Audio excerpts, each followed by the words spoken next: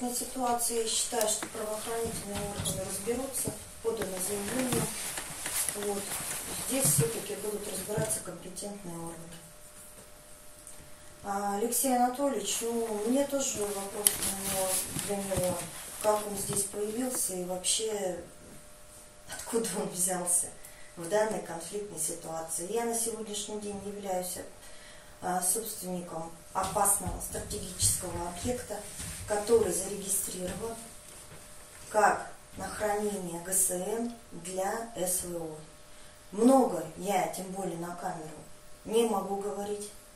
Поэтому я несу определенную ответственность за данный объект и за хранение того ГСМ, который там хранится.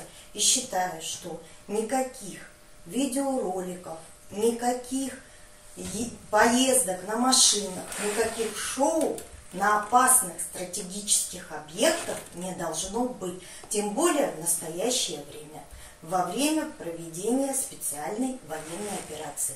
И мне очень обидно, что наши товарищи, коммунисты, поддерживают такие мероприятия, которые проходят на объектах опасных стратегических. Причем здесь в этот момент, 30 января, было сорвано, было сорвано отгрузка гуманитарной помощи нашим ребятам. В 9 часов нас ждали в военной части в связи вот с, этой, с этим шоу, которое устроили. Еще сейчас правоохранительные органы разберутся, подстроено это или не подстроено. Разбираются все и разберутся обязательно. Виновные будут наказаны.